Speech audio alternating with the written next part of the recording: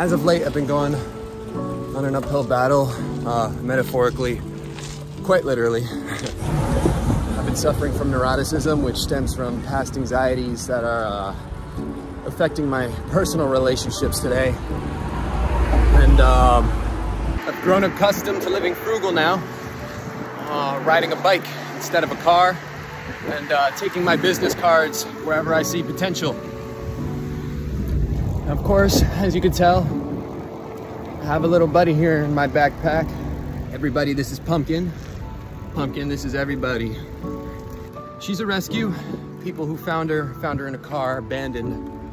And um, they couldn't take care of her. They tried, but they couldn't because their dogs were nipping at her. So they take her to the Humane Society and next thing I know, I'm coming home to a six week old puppy. Um, that we cannot financially take care of. So where I'm currently going now, delivering Pumpkin back here to a better family. Family that can financially take care of her. A family that has kids, dogs, and cats. And a uh, big piece of property to where she can live a thorough and happy life.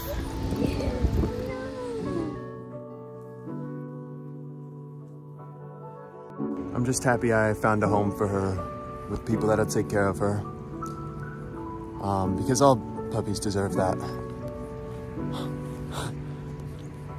Stop. What are you doing?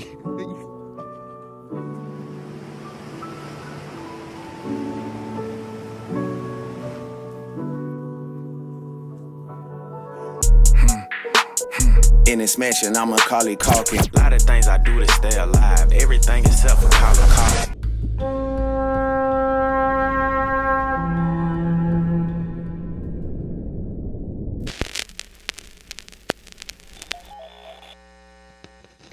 So as you see here, this is the genius of XXXTentacion behind the scenes in progress. Uh, and this video has probably clocked in a little over an hour now. So I know this is going to be big, especially for you guys. I got to make sure the editing is pristine. I got to make sure everything is down pat. I'm also working on a project of mine as well called Alley of Sin, which is a little mixtape that I've compiled so far with just the experiences I've created in hopes that maybe you guys will fuck with it too. But we'll see.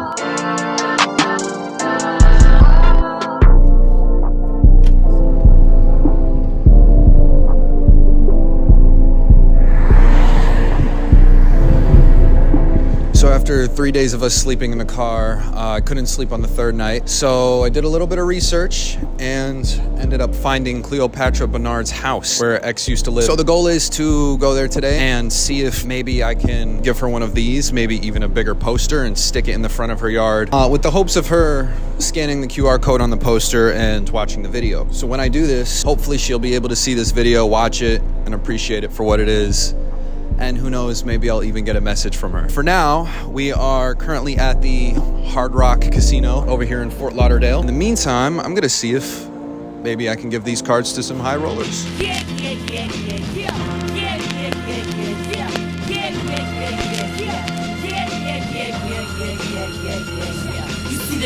Watch that in your own time and good luck. Appreciate it. Thank you. Ow. Watch that when you get a chance get a chance, watch that. It's really good.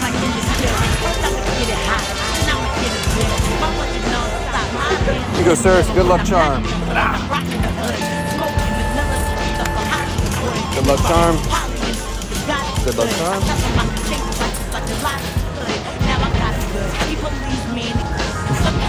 Okay, okay. Here you go, sir. Good luck charm. And good luck charm for you, sir. Huh?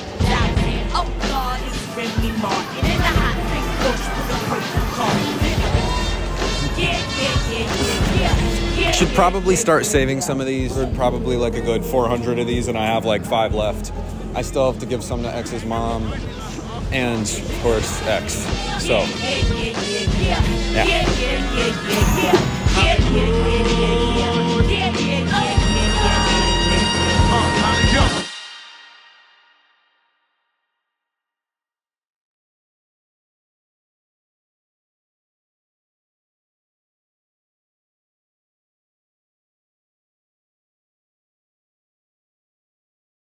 Figured this video, uh, both of these videos, weren't gonna get as many views as I would have hoped. And that's just because of the hiatus I took, on top of the fact that part one is age restricted. Both videos are demonetized. So I uh, advised a little plan of a Florida trip, currently in Tampa.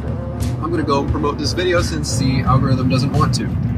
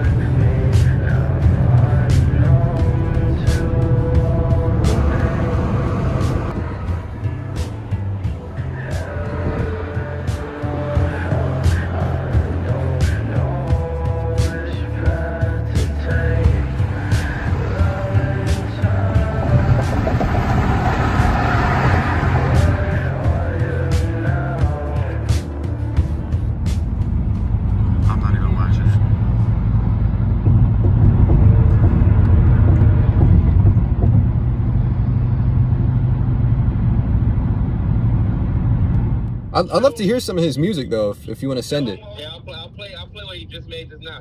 But I'm confident in my music. I'm just. I'm trying to learn the way a little bit more. Like that's why I'm kind of waiting a little bit until next year to where I get myself more straight and where I want to be in life, so that Oh. I'll be oh. ready for this shit. Shit, this guy's getting arrested. Because I'm confident in my abilities. Like I really gotta give. I really love this shit, and like I just want to do it right. I seen an interview. It was like the most famous person really don't have the most uh, freedom of speech, and of course, like I seen an interview, and I oh no, I'm talking. About I seen an interview. It was your documentary near, near the end of it, and then all it takes is one person. Because I'm telling you, X has so many fucking fans, bro. Yeah. That shit's gonna go. I'm telling you, about seven months, bro. I can predict that shit. I'm telling you, I've seen the algorithm work like that so many times. Yeah, it, it's really just a snowball effect. Because I, I mean, again, I wouldn't have the views I would have had if I didn't have the subscribers. And it's on your page, bro. Your Yeah. next video, your next video is only gonna drag people on into that one still. Like, and the video they still got, once they see, because your video is gonna just keep in the algorithm, they're gonna, like, I promise you, that bitch is gonna only keep going up. I, I hope so right now, man. I, I um I printed out and I knew this was gonna happen. Like I had a strange feeling, you know, it's been 13 months. I'm gonna release this video by this date.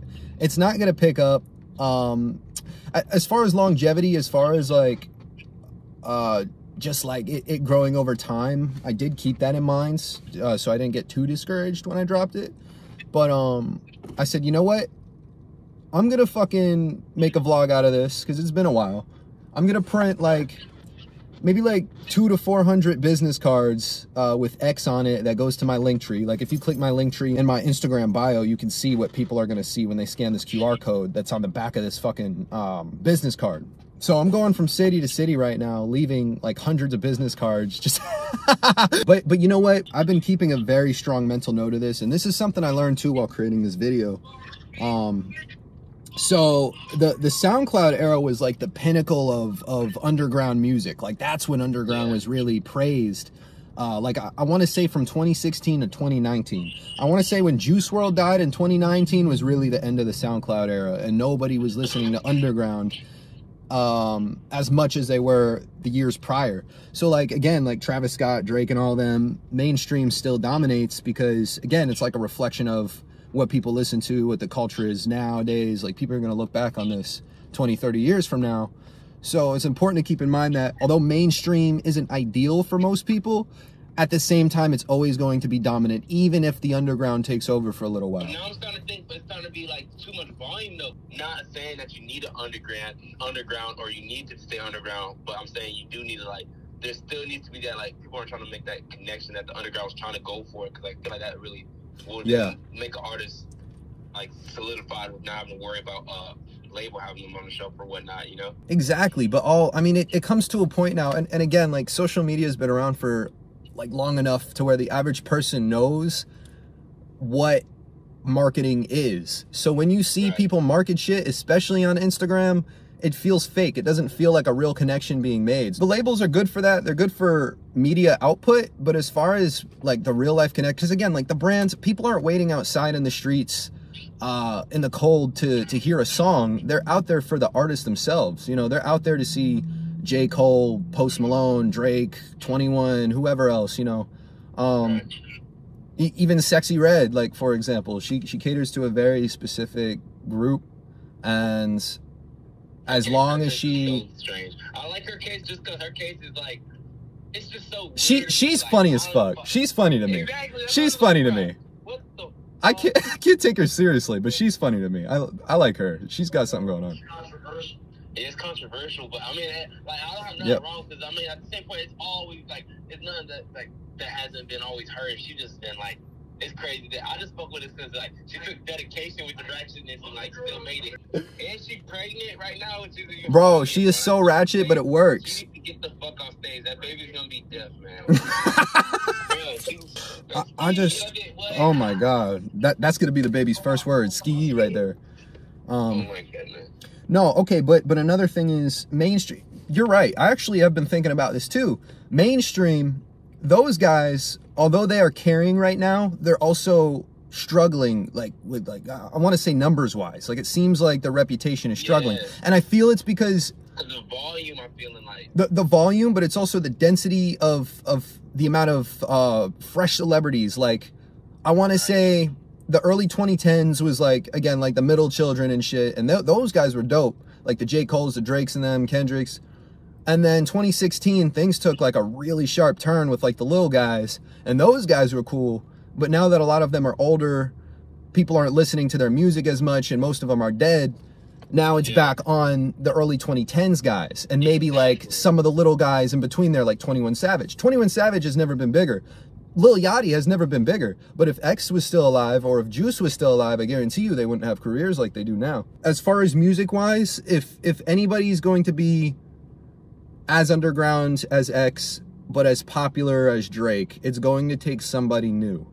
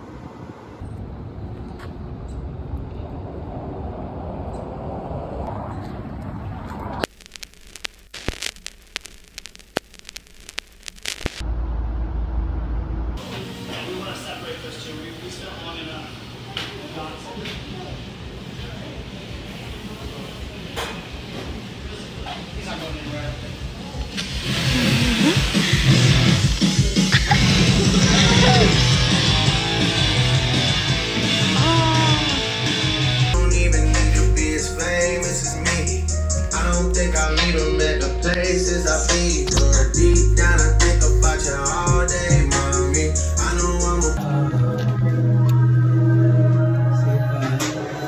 Don't cry. Don't go. I don't cry. I. I don't know. Should we should we play more X? You want to hear some Drizzy? Or some Travis Scott. You want to hear some Travis? Shit, well we better play. We better play then. Hold on. We're gonna play some Astroworld. That's a good idea. You want to hear his new album? You don't want to hear some trippy psychedelic shit? Okay.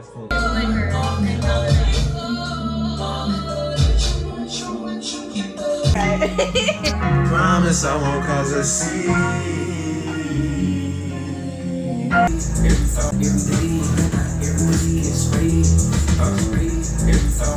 Trying to build trust, showing me a DNs, honey, trying to bag you. Shut the QC, please. You didn't feel it?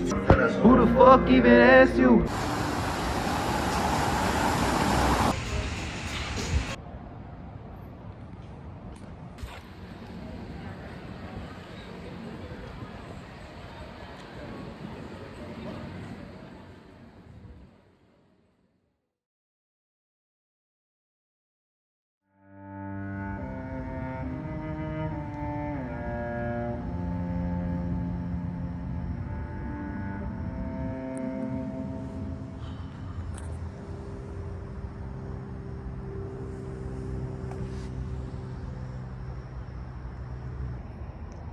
So I finally made it to the resting spot of XXX and kind of at a loss for words.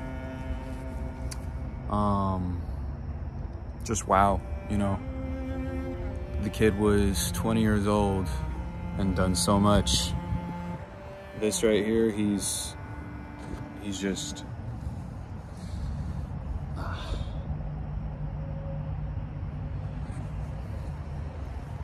harder than I thought it would be. Um, being here.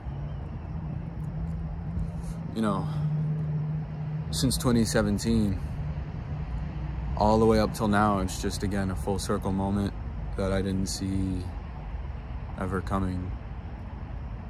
And it kind of makes me understand um, what taking things for granted means because when you do have that full circle moment, all you can think about is the in between, the before and after, and you'll never revisit the in between again, you know? So, living in the moment is really what you can take away from this. Enjoying everybody around you, whether it be your friends, family, enemies too, so on and so forth. These are the moments that are going to make you you and these are the moments that are going to make your life mean something. So without all of that what is there? There's just memorials and bittersweetness and um, a longing sadness. And um, i think that's kind of the message he was trying to preach you know is is trying to evolve to evolve and enjoy the hardships and enjoy the pain and to get out and just live your life and do the things that make you passionate. Otherwise, what would it be for? You know, this, this was not for granted. This was not for no reason. This was, this meant something to, to so many people and, you know, to me too. So,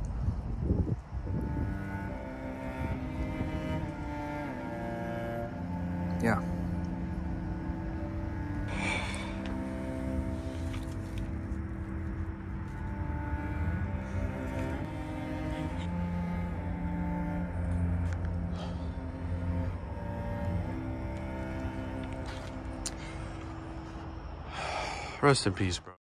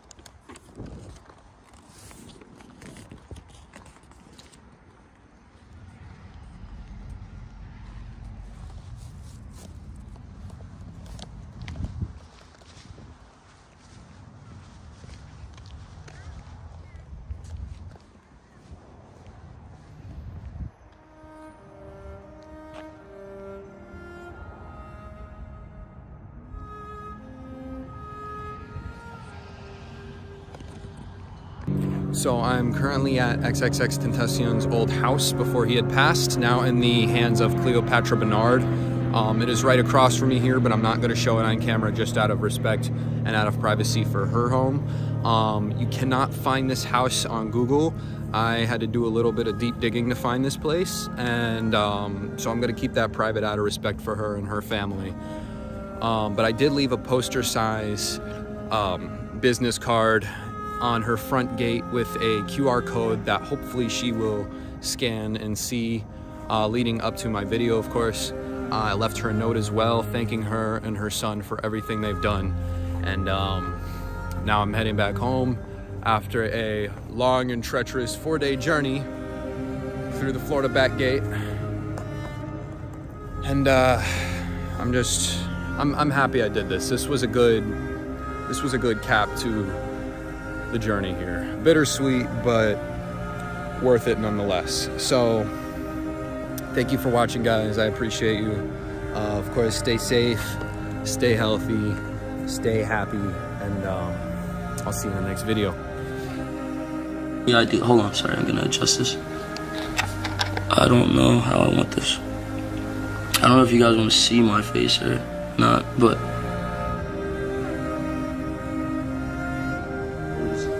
Stitch, this is my favorite Disney character ever. He's very relatable.